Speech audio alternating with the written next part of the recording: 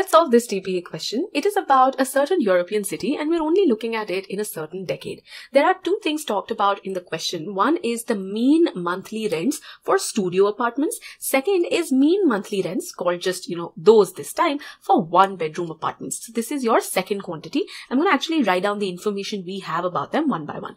If I look at the first category, the studio apartments, they are saying that this mean monthly rent varied yearly. What that means is that for a certain year, this average monthly rent, that was a constant. Then for another year, this was a different constant and so on. So you're finding the average monthly rent on a yearly basis. Now they're saying this varied from a low of 804 to a high of 1173 euros. So I'm just going to write the low and the high values of what? Let's just be very clear. We are talking about the mean monthly rent and we simply have our values here. Then they've actually given you the exact same thing for one bedroom apartments also. As you read further, it tells you that even these vary and this time the low is 1060, the high is 1497. So let me put these Perfect. Now let's read further. Now it says, but some individual studio apartments rented for as little as 420 euros in some years. Is that a problem? It's not really a problem because this is the mean. If my mean is 804, that doesn't mean that all of the individual monthly rents have to be at least 804. That's not true. If you consider about this very mean, the 804, it could be from a year where some months had very low rents, this 420 talked about, and some months maybe had a 1200, 1300, so on. This is is just a mean value, actual monthly rent in that year could be different. That's why it's important to understand that you are taking mean monthly rent, but you're taking it for a year. So this is the average for all 12 months. This is not exactly the rent in those 12 months. Okay. So exceptions are okay, but I'll still list what they say. Some studio apartments went as low as 420 euros. And then if I read further, it's also telling me about some one bedroom apartments that rented for up to 2262. So in this place, they are giving me a high, which they're trying to show that, see, this is greater than even the mean that you had, but that is okay. This is the greatest possible average monthly rent, but this is from a specific month. Similarly, this 420 is from a specific month. This does not in any way contradict my first piece of information. It's two things that I have together. Now let's read further. To visually assess something, what to assess what? Ratio of mean monthly rents for studio apartments to those of one bedroom varied. Basically, how did this ratio vary over the decade? You were seeing all of this for a certain decade. Now you want to see that this ratio, if I find of the actual mean monthly rents for these two types of places, then how is that ratio changing in this 10 year period? To do this, this is her goal. To do this, they've told you about something that Maria wants to do. She requires a graph. And what should the graph be like? The characteristics are here. It will have two axes of equal length. That's one thing. With mean rents for one bedroom apartments on the horizontal axis, mean rents for the studio apartment on the vertical axis, and the same scale on both the axes as well. The mean rent will simply be plotted as a point for every year. So essentially, if I'm looking at it, you know, in a 10 year period, then I am going to have 10 mean values for the studio apartments, 10 points therefore, and 10 points I'll have for the one bedroom apartments. Now let's see what can we understand about this graph? So I can visualize it this way. I know it's going to have two axes. I know the lengths are going to be equal. So just assume that this that I've drawn, these are equal in lengths. And if they also have the same scale, it means if I mark one unit here, one unit here, it's going to be equally thick here as well. If this is say, you know, 200 uh, euros, then this is also going to be 200 euros for one unit. It's going to be identical that way as well. Then they told me what the one bedroom is here on the x-axis. The studio apartments are here on the y-axis and I'm going to just keep making points for all of these mean rents. Now, what do we really need to do? We'll have to read the question. Till now, we've understood the given information about the means. Then these are about some specific months. Let's put that. And then we also got an idea about what type of graph Maria wants. If you found the analysis of this dataset helpful, then hit that like button so that other GMAT aspirants can also learn from it. And to stay tuned with such content, hit the subscribe button below. Now, to take your learning to the next level, we have put together a free trial in which you can experience content in all the sections tested on GMAT Focus Edition. For example, you can build your CR pre-thinking skills, you can learn how to approach statistics questions in graphics interpretation as as part of DI, you can learn everything about linear inequalities as tested on the GMAT Focus Edition and a lot of other content. The link for this is in the description. Now, let's get back to the question at hand. Now let's see what the question is asking.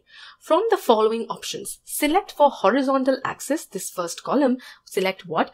A range of points, a range for the points on the horizontal axis. Similarly, vertical axis, you will select a range for the points on the vertical axis that together would satisfy her requirements. So basically, they are just saying that on this graph that you were talking about, what is the range of all of the points that it has? So if I suppose only talk about horizontal axis, then 0 to 1500 euros on this would mean that it starts from 0 euros and it goes till 1500 euros as the final point. That actually makes the length of this entire axis as 1500 euros for you. And because you know that the length has to be identical, it will be 1500 for this as well. That's one thing. Now, another thing, if suppose 400 to 1100 is the answer, that would mean this first point will denote 400 euros.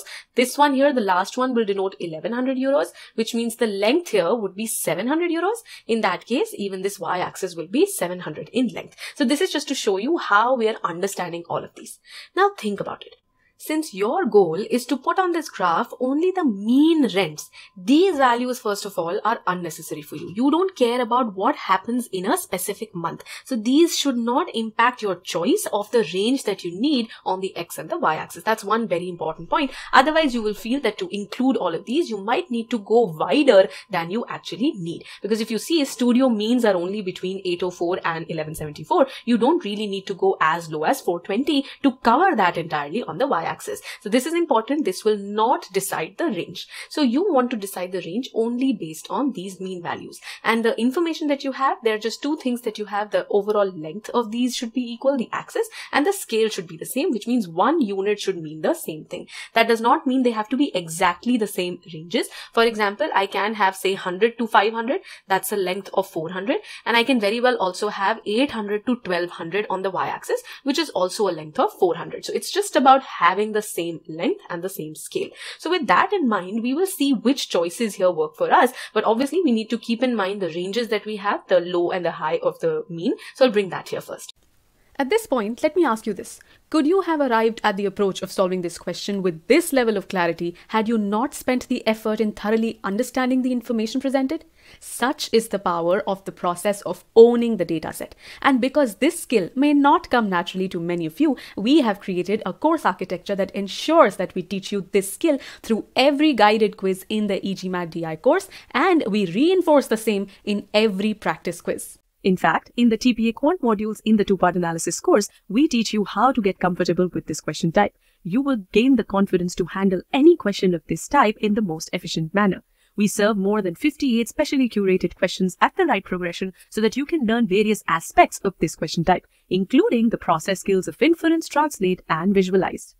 Thus, throughout the DI course, through around 500 questions, you will learn such process skills so that you can also comfortably use the owning the dataset approach. Let's now get back to the solution at hand. And here we are. I've only brought the relevant stuff here. We have the three conditions that must be satisfied and we also have the mean values that are to be covered. So look at your conditions again. First, the ranges must have the same length, then the same scale, and then they must cover all of these mean values. To cover the mean values, essentially, if a range covers the lowest and the highest mean value, it automatically covers everything in between. So it'll just be about checking all four of these values for these ranges. Now think which condition here should I start working with? Because I'm trying to find the correct correct choices, right? The ones that satisfy everything. So I look at these conditions one by one. Either I can start with the length condition or the mean value condition because scale is still something that I cannot see here how much one unit will be until I come to a range.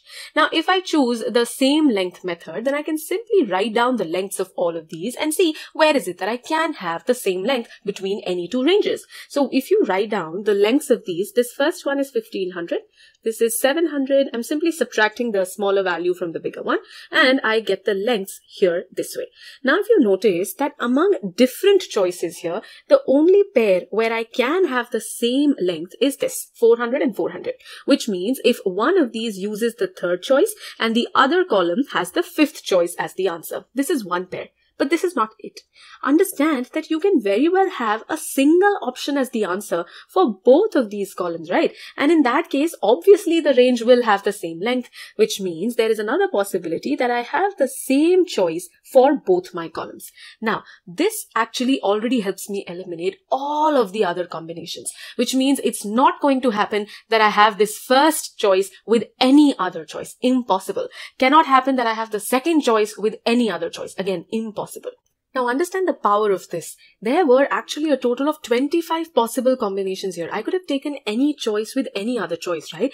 Out of those 25 possibilities, we have narrowed down our work to just six choices just by using this one condition of length. Because this was such a limiting condition, length has to be the same, it helped us narrow down a lot.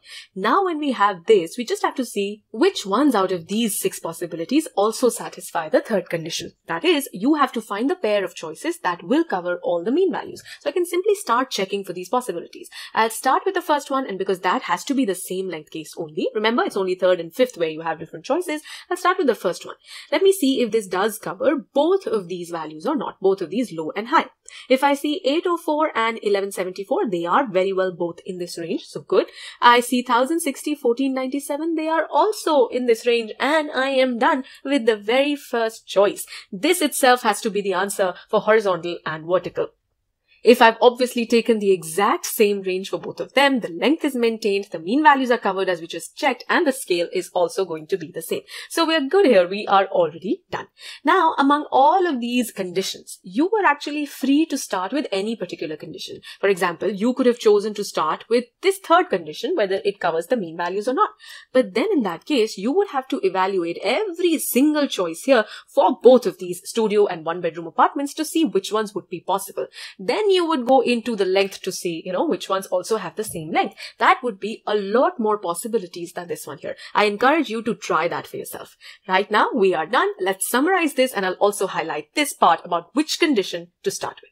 So here in this question, we started by understanding everything that was given to us really, really clearly. It was not very difficult to cleanly visualize this in the form of a table. We were careful to identify both types of data, monthly data, mean data, and this about the specific months. After that came Maria's requirement that we had to be careful about. And once we read the requirement, we knew that we don't need the specific months, so we did not take that forward. Here we simply had our mean values and these conditions that had to be satisfied.